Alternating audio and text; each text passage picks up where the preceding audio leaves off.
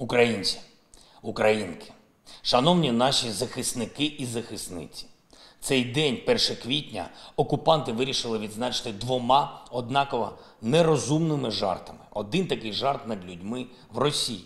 Там стартував весняний призов, який виглядає як традиційний, але ж все ж таки відрізняється від звичайних. Бо призовників цього року можуть відправити на війну проти нашої держави, проти нашого народу. А отже, це гарантована смерть для багатьох зовсім молодих хлопців. І хоча вони не наші громадяни, хоча вони громадяни держави, яка з нами воює на нашій землі, все ж таки наш обов'язок як людей попередити. Предупредите кожного такого призивника, їх родителі. Нам тут не нужны новые убитые люди. Берегите своих детей, чтобы они не стали злодеями. Не отдавайте их в армию, Делайте все, что можете, лишь бы они жили дома, у себя дома.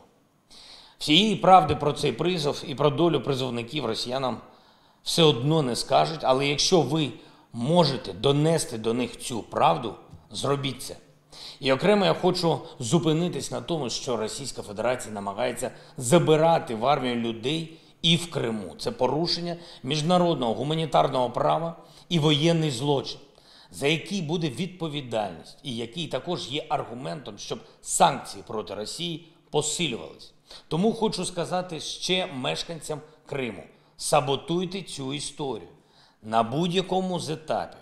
А якщо не вийде, то не виконуйте злочинних наказів і за першої ж нагоди здавайтеся. Здавайтеся Збройним силам України. Ми все зрозуміємо. Ви будете жити.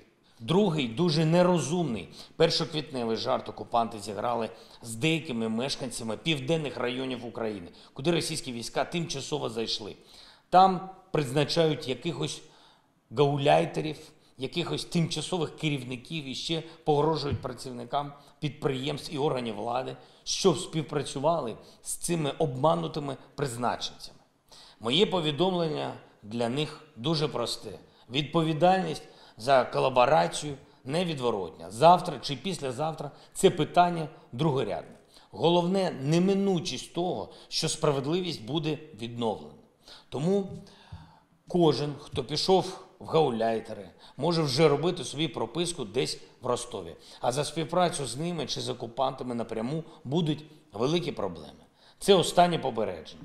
На півночі нашої країни продовжується відхід окупантів. Повільний, але помітний. Десь їх виганяють з боями, десь вони самі залишають позиції. Після них суцільна катастрофа і дуже багато небезпек. Це правда. Перше, бомбардування можуть продовжуватись. Друге, вони мінують всю цю територію, мінують будинки, мінують техніку, навіть тіла убитих людей. Дуже багато розтяжок, дуже багато інших небезпек. Ми просуваємось вперед. Просуваємось обережно, і кожен, хто повертається на цю територію, також має бути дуже обережним. Це неможливо повертатись до звичайного життя, як було, навіть на тих територіях, які ми повертаємо. Повертаємо після боїв. Ще треба почекати. Чекати, коли наша земля буде розмінована. Чекати, коли можна буде запевнити вас, що нові обстріли неможливі. На сході нашої країни ситуація залишається вкрай складною. Російських військових наганяють на Донбас, на Харківський напрямок також. Вони готуються до нових потужних ударів. Ми готуємось до ще більш активної оборони. Використовуємо всі можливості, як внутрішні, так і зовнішні. Обов'язково. Ще раз підкреслюю: попереду складні битви. Зараз ще не можна думати, ніби ми вже пройшли всі випробування. Ми всі хочемо перемоги, всі. Але коли вона буде, кожен це побачить, кожен це відчує, що настає мир.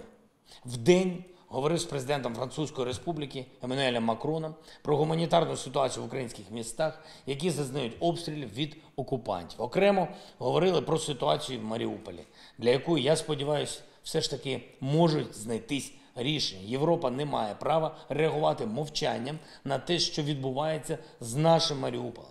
На цю гуманітарну катастрофу повинні відреагувати весь світ. Сьогодні працювали гуманітарні коридори в трьох областях: Донецька, Луганська, Запорізька. Вдалося врятувати 6 тисяч 266 людей, в тому числі 3 тисячі 71 людина з Маріуполя. Окремо домовляємось про вивезення з міста поранених і загиблих наших військових, наших цивільних, всіх громадян. Говоримо про це з Туреччиною, як з посередником.